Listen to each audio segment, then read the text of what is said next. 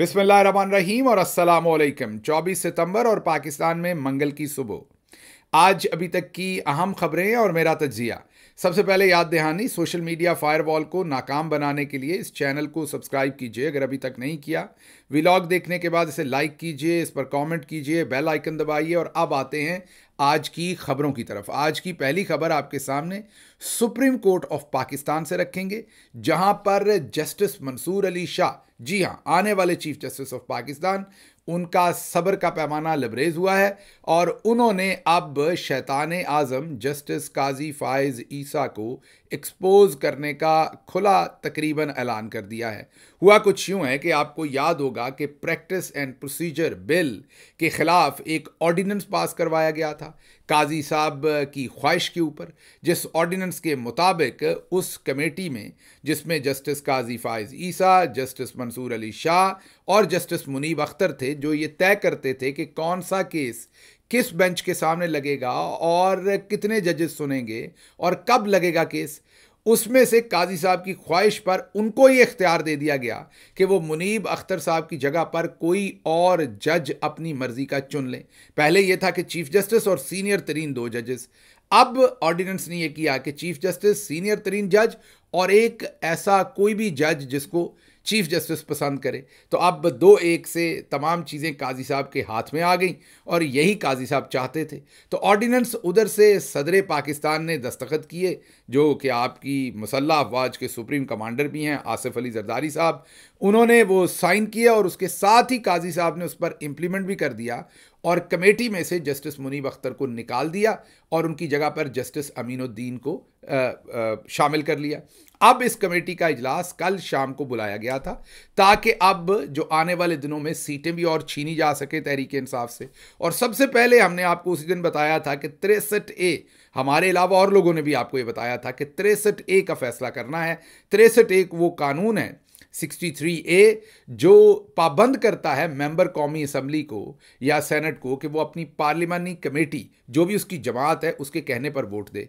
और अगर जमात के कहने के खिलाफ वोट देगा तो उसका वोट भी काउंट नहीं होगा और वो डी सीट भी हो जाएगा। अब ये जो शैतानी आइनी तरामीम करवानी थी, शैतान आज़म काजी फायजीसा को एक्सटेंशन देने और आइनी अदालत बनाने के लिए, उसके लिए ज़रूरी था कि तिरसठ ए को बदला जाए। अब ये प्रैक्टिस एंड प्रोसीजर कमेटी के अंदर अगर ये आता तो उन्होंने फुल कोर्ट के सामने लगाना था जस्टिस मंसूर ने और जस्टिस मुनीब ने। इसलिए जस्टिस मुनीब को वहाँ से हटाकर उनकी जगह पर जस्टिस अमीनुद्दीन को लाया गया और साथ ही कमेटी का इजलास रख दिया और साथ ही एजेंडे पर 63 ए की एप्लीकेशन नज़रसानी भी रख दी। मतलब काजी साहब शर्मिंदगी से शैतानी का काम नहीं करते। पूरे ठंडे बेशरम है, पूरी माजरत के साथ इन अल्फाज पर, लेकिन पूरी ठंडी बेशर्मी के साथ करते हैं, जो भी करते हैं, बगैर कुछ सोचे समझे। लेकिन आगे से उन्हें नहीं पता था कि उन्हें जस्टिस मंसूर अली शाह टकर जाएँगे। जस्टिस मंसूर अली शाह ने कोई तीन सफ़ात पर मुश्तमिल, आठ पैराग्राफ का एक ख़त लिख मारा इसी प्रैक्टिस एंड प्रोसीजर कमेटी को, जिसमें उन्होंने काजी साहब के पल्ले कुछ नहीं छोड़ा। उस ख़त में उन्होंने, एक तो प्रैक्टिस एंड प्रोसीजर जो ऑर्डिनेंस है, उसको आइन के मुनाफी करार दिया और यह भी कहा कि अगर इस ऑर्डिनेंस को भी मान लिया जाए तो इस ऑर्डिनेंस की रूह से भी जो कुछ काजी साहब ने उसके बाद किया, वो गैर आइनी किया। उन्होंने सवालात काजी साहब पर उठाए कि ऑर्डिनेंस ही पहली बात तो ये कि इस सारे प्रोसेस का फैसला सुप्रीम कोर्ट ऑफ़ पाकिस्तान के फुल बेंच ने किया था। अब अगर इसमें कोई तब्दीली करनी है तो फुल बेंच ही कर सकती है। और कोई नहीं कर सकता तो आपको इसे फुल बेंच में लेके जाना चाहिए था। क्योंकि पहले जो अदलिया के अंदर इंटरफेरेंस पार्लियामेंट की तरफ़ से की जा रही थी, उसका रास्ता बंद किया गया था सुप्रीम कोर्ट के, फुल कोर्ट के उस फैसले में, जिसमें कहा गया था कि ये फुल कोर्ट जो है वो तय करेगा। कि जजेस के सामने कैसे केसेस लगने हैं, उसका पूरा प्रैक्टिस एंड प्रोसीजर का क्या तरीकाकार मुरतब होना है। तो अब आपने ये बगैर फुल कोर्ट के कैसे फैसला कर लिया, पहली बात। दूसरा, उन्होंने कहा कि अगर आपने कर भी लिया एक मिनट के लिए तो फिर आप वजह बताए बगैर जस्टिस मुनीब अख्तर को कैसे निकाल सकते हैं और जस्टिस अमीनुद्दीन, जो चौथे नंबर पर हैं, उनको कैसे शामिल कर सकते हैं। उन्होंने कहा अच्छा अगर आपको उनसे लगाव नहीं है तो आपने जस्टिस याया अफरीदी को शामिल क्यों नहीं किया, जो तीसरे नंबर पर सीनियर तरीन अमीन काजी साहब हैं। उनके पीछे जस्टिस मंसूर अली शाह हैं, उनके पीछे पीछे जस्टिस मुनीब अख्तर हैं और उनके पीछे याया अफरीदी हैं और उनके पीछे जस्टिस अमीनुद्दीन हैं। तो उन्होंने कहा कि आपने उनको कैसे शामिल कर लिया? याया अफरीदी को आपने किन वजूहत की वजह से छोड़ा जस्टिस याया अफरीदी को?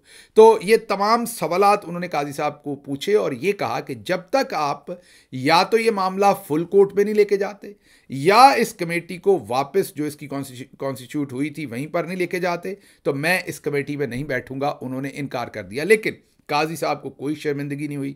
उन्होंने जस्टिस अमीनुद्दीन के साथ बैठ के मतलब खुद के साथ ही बैठ के, दोनों भाई, हमारे जस्टिस अमीनुद्दीन साहब भी इन्हीं की तरह के ही हैं। मीन मशाबत काफ़ी है इनके और उनके फैसलों के अंदर। तो दोनों ने इकट्ठे ही एक दूसरे के सामने, ऐसे ही है जैसे काजी साहब आईने के सामने बैठे हैं। तो दोनों ने बैठकर फिर सिक्सटी थ्री ए, को भी अब फिक्स किया है।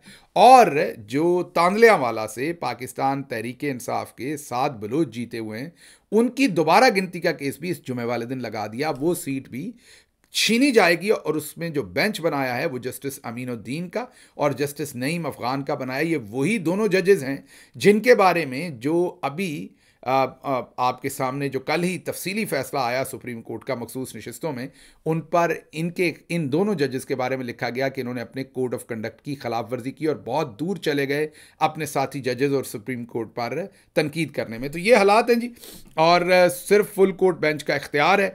ये उन्होंने कहा है और अगर आपने इस सारे काम को करना है तो आपको फुल कोर्ट का जो बेंच है, उसी के थ्रू ये प्रैक्टिस एंड प्रोसीजर को चेंज करना पड़ेगा। लेकिन काजी साहब ने 63 ए नज़रसानी मुकर कर दी है, जिसमें बेंच एक तो बड़ी ही ढिठाई के साथ, बेशर्मी के साथ खुद बैठ गए हैं जस्टिस काजी फायजी साहब। उसके बाद जस्टिस मुनीब अख्तर साहब को इसमें शामिल किया है। पंजाबी में कहते हैं, गोंगलुआ तो बेटी चाड़ना आस्ते मीन, एक हजत तमाम करने के लिए इसमें जस्टिस मुनीब अख्तर को शामिल किया। ये कहने के लिए कि देखिए, मैंने प्रैक्टिस एंड प्रोसीजर से उन्हें अलग किया लेकिन मैं उनको बुरा तो नहीं समझता, मैंने उन्हें बेंच में रखा है। लेकिन बेंच में कहाँ रखा है? जहाँ बाकी तमाम जजेज़ इनके हम ख्याल हैं।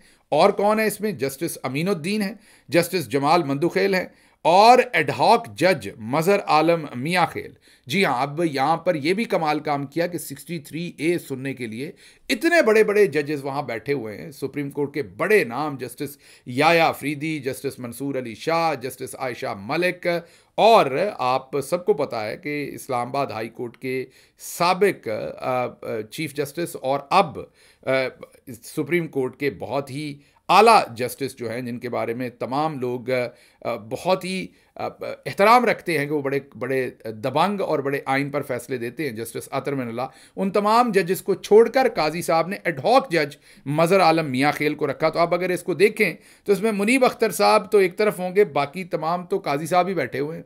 तो ये फैसला 63 ए के हक में आएगा। ये कहेंगे, बन जाओ लोटे, डालो वोट जिधर डालना है। तमाम जजेस ये फैसला करेंगे और मुनीब अख्तर साहब अकेले बैठ के इनको देखेंगे या इख्तलाफी नोट लिखेंगे तो उसका क्या फ़ायदा होगा? तो मुनीब अख्तर साहब ने इनकार कर दिया इस बेंच में बैठने से। रिपोर्टेडली ये खबर है और उन्होंने कहा कि जब तक प्रैक्टिस एंड प्रोसीजर के ऊपर कानून के मुताबिक फैसला नहीं होता, मैं काजी के साथ किसी चीज़ पर नहीं बैठूँगा। अच्छा जी, अगली खबर जो आपके सामने रखनी है, वो खबर है, इमरान खान साहब ने एक तो मीडिया टॉक की है और उन्होंने दो चीज़ें क्लियर की हैं। उन्होंने कहा, ये जो प्रोपेगेंडा किया जा रहा है कि मैं इसराइल के हक में हूँ या नहीं, उन्होंने कहा, मेरी पोजीशन बड़ी वाजे और वही है जो कायद अजम रहमत की थी।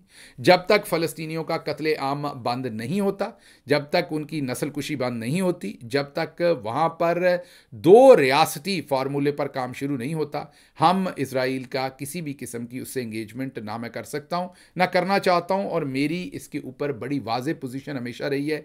अभी भी है, पैसे दे के या किसी भी तरह से ये जहाँ जहाँ मर्ज़ी आर्टिकल्स लिखवाएँ या राय कायम करें, उससे मुझे कोई फ़र्क नहीं पड़ता। उसके बाद उन्होंने कहा कि जो इसराइली अखबार में लिखा है, उसमें तो मेरे खिलाफ ऐसा वैसे कुछ नहीं लिखा, उसमें तो मेरी क्रेडिबिलिटी पर बात की है उस अखबार ने और सताइश की है, लेकिन क्योंकि इन्हें अंग्रेज़ी पढ़नी नहीं आती, इसलिए इन बेचारों को जो कोई कहता है, वो ये मान लेते हैं। उसके बाद उन्होंने जो अगला सियासी फैसला किया है, जो मेरा ख्याल उन्होंने बाउंसर करवाया है, नई जो फील्डिंग लगी है, इस टाइम मिलिट्री इस्टेब्लिशमेंट ने नई फील्डिंग लगाई है। जजेस के खिलाफ जो सुप्रीम कोर्ट के अंदर नई फील्डिंग लगी है। पूरा माहौल ही नई फील्डिंग की जद में गया है। उस, उन हालात के अंदर इमरान खान साहब ने अब बाउंसर करवाया, या कम अज़ कम अपनी टीम को कहा है कि बाउंसर करवाएँ। तो जो मियाँ वाली में जलसे का ऐलान था, दूर दराज, उन्होंने कहा, नहीं ये मेन पिच पर लाकर बॉल की जाएगी मेन बैट्समैन के सामने। अब रावलपिंडी में उन्होंने जलसा रखा और कहा है कि एनओसी मिले या ना मिले, आपने ये जलसा करना है। तो अब अगला जलसा जो है वो रावलपिंडी में रखा गया है और जलसा भी हफ़्ते वाले दिन उन्होंने सत्ताईस तारीख को कर दिया है, बजाय इसके कि वो अट्ठाईस तारीख को किया जाए। अब जलसा जो तारीख शायद अट्ठाईस बनती है हफ़्ते को, बहरहाल सैटरडे वाले दिन ये जलसा जो है वो कर दिया गया है और अब देखते हैं कि आगे एनओसी वगैरह के ऊपर क्या करती है। लेकिन ये उनके अहकाम हैं वाजे कि एनओसी मिलेगा या नहीं मिलेगा। जलसा किया जाएगा। उसके साथ साथ उन्होंने ये भी किया, कहा है कि लाहौर में भी हमने हर सूरत जलसा जो है वो मीनार पाकिस्तान पर करना है और दोबारा करना है और बहुत जल्द करना है और एनओसी दें या ना दें, हमने करना है। अलीमा खानम साहबा ने इसी मौके पर कहा है कि हम तैयार हैं, हमें गोली मारते हैं तो हम खाने को तैयार हैं, करबला बनाना है तो उसके लिए भी तैयार है, लेकिन अब हम इंसाफ लेके रहेंगे, अब कोई हमें इस तरीके से रोक नहीं सकता। तो बहरहाल जो अदालतों के अंदर गैर अलानिया मार्शाला लगाने जा रहे हैं, ये इमरान खान ने कहा है और उन्होंने कहा कि शहबाज शरीफ कहते हैं कि अच्छे बच्चे बनकर तरक्की करते हैं। इनको कोई बताए कि रूल ऑफ़ लॉ के बगैर ना अमन आ सकता है, ना इंसाफ आ सकता है। कुफर का निज़ाम चल सकता है, ना इंसाफ़ी का निज़ाम जो है, वो नहीं चल सकता। ये इमरान खान साहब ने फरमाया। अच्छा जी, अगली खबर की तरफ़ चलते हैं। ये तो हो गया, आपको पता चल गया practice and procedure justice Mansoor Ali Shah साहब, इमरान खान की मीडिया टॉक ये तमाम चीज़ें और जस्टिस मुनीब अख्तर का रिस्पॉन्स अब चलते Lahore High Court. Lahore High Court के अंदर दो पटिशन्स फ़ाइल हुई हैं। एक पटिशन फ़ाइल हुई है कि जस्टिस मंसूर अली शाह का as a chief justice Supreme Court उनका नोटिफिकेशन फौरी जारी किया जाए। क्योंकि काजी फायज ईसा का notification 87 days before his oath taking जो है वो जारी कर दिया गया था, सतासी दिन पहले। अभी काजी साहब के शायद 32 दिन रह गए हैं, लेकिन अभी तक नोटिफिकेशन जस्टिस मंसूर अली शाह का नहीं किया गया। हाई कोर्ट के रजिस्ट्रार ने उस पर एतराज़ लगा दिया, जिस पर जजेस ने बहुत बरहमी का इजहार किया और एतराज़ात दूर किए और कहा कि इसको फिक्स किया जाए। अब ये पटिशन भी सुनी जाएगी लाहौर हाई कोर्ट के अंदर। एक और पटिशन लाहौर हाई कोर्ट के अंदर गई है और वो ये है कि प्रैक्टिस एंड प्रोसीजर बिल जो जो तय किया था सुप्रीम कोर्ट की फुल कोर्ट ने, उसके बाद ये जो ऑर्डिनेंस है, ये गैर कानूनी है गैर आइनी इस ऑर्डिनेंस को मअतल किया जाए, जिसकी बेस पर काजी साहब ने फिर बाद में एक नई कमेटी भी बना दी है। उस पर भी रजिस्ट्रार ऑफ़िस ने एक एतराज़ लगा दिया था जिस पर जज साहब ने भरमी का इजहार किया, सरजनश की रजिस्ट्रार ऑफ़िस की और दोबारा से इसको कोर्ट के सामने लगाने के लिए अहकाम दिए हैं कि इसे फ़िक्स करें। अब ये दोनों अदालतें सुनी जाएँगी। इनमें से किसी एक का भी फैसला हो गया तो काजी साहब के लिए शैतान आज़म के लिए मुश्किल होंगी। देखते हैं लाहौर हाई कोर्ट इसमें क्या करती है। अच्छा जी, आगे चलते हैं। अगली खबर ये है कि सुप्रीम कोर्ट क्या फ़ैसला देती है? इस पर चार दिन पहले मुनीफ फारूक साहब ने कहा था। आपको पता है कि डिजिटल नाई, हम इनको कहते हैं, इन्होंने कहा था कि हमने जो भी हो जाए जो मिलिट्री इस्टेब्लिशमेंट है, उन्होंने इनका फ़ैसला नहीं मानना। ये मुनीफ फारूक साहब ने बताया था। अब फिर उन्होंने दोबारा इंटरव्यू जब डिटेल्ड फैसला आ गया तो वो लीगल एक्सपर्ट कभी उनके नीचे सहाफ़ी लिखते हैं, कभी लीगल एक्सपर्ट चलें, वैसे तो बवक्त ज़रूरत मुझे पता चला है कि खतने भी कर देते हैं। लेकिन चले मुनीफ फ़ारूक साहब हैं, जो उनका दिल करे वो कर सकते हैं। तो अब जियो पर बात करते हुए उन्होंने दोबारा कहा है कि और दूसरे टेलीविज़न के ऊपर कि सुप्रीम कोर्ट का फैसला जो है, वो नहीं माना जाना और भले वो डिटेल्ड फैसला दें या जो भी दें और अगर वो अपने फैसले को मनवाने की कोशिश करेंगे तो उनको बहुत सख्त जवाब मिलेगा। मतलब उनके साथ बदतमीज़ी करेगी मिलिट्री इस्टेब्लिशमेंट और उनको बताएगी कि आपके फैसले सियासत ज़दा हैं, उसमें से सियासत की बू आती है। इंसाफ पर मबनी नहीं है, इसलिए आपके फैसले नहीं मानने। तो ये जो बदतमीज़ी करेगी मिलिट्री इस्टेब्लिशमेंट इनके अपने फैसले सियासत ज़दा नहीं है भले। इनके हर काम से सियासत की बू नहीं आती। बहरहाल, ये मामला जो है, ये वहाँ पर डिस्कस आज मुनीफ फारूक साहब ने की अच्छा जी, आगे चल, आगे चलते हैं। अब आपको पता ही है कि इस टाइम जो तमाम फोकस है, वो मौलाना फजल रहमान की तरफ़ है कि उनसे वोट लिया जाए किसी तरीके से और तरामीम पास करवाई जाए। और तरामीम पास करने का बहुत ज़्यादा शिद्दत से इंतज़ार है शैतान आज़म को भी और ज़ाहिर है मिलिट्री इस्टेब्लिशमेंट को भी। तो अब एक पूरा जत्था भेजा गया है सहाफ़ियों का। ये ज़रा स्क्रीन पर देखिए। तमाम वो सहाफ़ी हैं जो या तो बहुत ज़्यादा नून लीग के करीब हैं या बहुत ज़्यादा इस्टेब्लिशमेंट के करीब हैं। या तो प्रो इस्टेब्लिशमेंट इस्टेब्लिशमेंट का बयानिया बोलते हैं या नून लीग का बोलते हैं। ऐसे तमाम मुझे शायद कोई एक आध शायद शक्ल नज़र आई हो। एक बड़ी मुश्किल से मेरा ख्याल है इन सारे सहाफ़ियों के अंदर या दो होंगे। जो थोड़ा सा कोई बैलेंस करके चलने की कोशिश करते हैं, या कोशिश करते हैं कि बिल्कुल अन्य वाह जो है वो इस्टेब्लिशमेंट की लाइन ना लें, या नून लीग की ना लें कभी कभार आप कहें दस, बीस, तीस फ़ीसद कभी वो दरमियान वाला रास्ता भी निकालते हैं, वरना सारा हजूम मौलाना के पास जो भेजा है मिलिट्री इस्टेब्लिशमेंट ने लगता है भेजा है, और वो तमाम ऐसे बंदे भेजें कि उनका दिमाग बदलें और उनको बताएँ कि देखें सहाफ़ी आपके बारे में क्या सोचते हैं, और सहाफ़ी ओवरऑल सिचुएशन के बारे में क्या सोचते हैं। उसके साथ साथ एक तस्वीर है शाहिद अफरीदी साहब की। वो भी सियासत पीके से ट्वीट हुई हुई है, उनके जो एडिटर हैं उनकी तरफ़ से। अब ये नहीं पता कि वो मौजूदा तस्वीर है या पुरानी, लग मौजूदा रही है वो भी। और लग रहा है कि शायद अफरीदी साहब को भी मैदान में उतारा गया कि मौलाना का जो जहन है वो बदला जाए। अच्छा जी, अगली खबर जो आपके सामने रखेंगे, वो सीनियर सहाफ़ी हैं बहुत ही सीनियर सहाफ़ी एडिटर रहे हैं हम बड़ा एहतराम करते हैं इनका। जाहिद हुसैन साहब, नाकद भी हैं इमरान खान के बहुत सख्त। पहले भी आपको बताया है, इन्होंने ही जनरल बाजवा से रिलेटेड पिछले दिनों खबर भी दी थी, एक बड़ी अहम। दोबारा इन्होंने खबर दी है कि आइनी तरामीम, ये जो शैतानी तरामीम थी इनको करवाने में इस्टेब्लिशमेंट का पूरा पूरा हाथ था। इस्टेब्लिशमेंट पूरी तरह से पीछे खड़ी थी। ये सीनियर सहाफ़ी जाहिद हुसैन बता रहे हैं और उन्होंने बताया कि बहुत सारे जो मेंबर पार्लियामेंट थे, उनसे उनकी बात हुई और उन्होंने बताया कि हमें डायरेक्टली आईएसआई और दूसरे मिलिट्री इस्टेब्लिशमेंट से फ़ोन आते थे और कहा जाता था कि आपने हाजिर होना और इस तरमीम में जाकर वोट देना है। लेकिन आपको याद करना चाहिए कि हमारे प्यारे D G I S P R साहब कहते थे कि ये फ़ौज कौमी है, इसका सियासत से कोई लेना देना नहीं है। मुझे लग रहा है मामला उलट होता नज़र आ रहा है। जो उनका बयान है, उसको उलट करके पढ़ना, शुरू करना पड़ना है, फिर ही समझ आनी है। अच्छा जी, अगली खबर जो आपके सामने रखेंगे वो ये है कि हिंदुस्तान के अंदर भारतीय जो कश्मीर के अंदर और, मकबूजा कश्मीर के अंदर जो इंतबात हो रहे हैं वहाँ पर इंजीनियर रशीद जो अलीहदगी पसंद है उन्हें ना सिर्फ़ इलेक्शन लड़ने की इजाज़त दी गई अलीहदगी पसंद है वो हिंदुस्तान से अलीहदगी चाहते हैं और आज़ादी चाहते हैं कश्मीर की मकबूजा कश्मीर के अंदर एक बहुत ही बाइज़्ज़त और बहुत ही तगड़े लीडर हैं और बहुत पसंद किया जाता है इंजीनियर रशीद को वहाँ पर।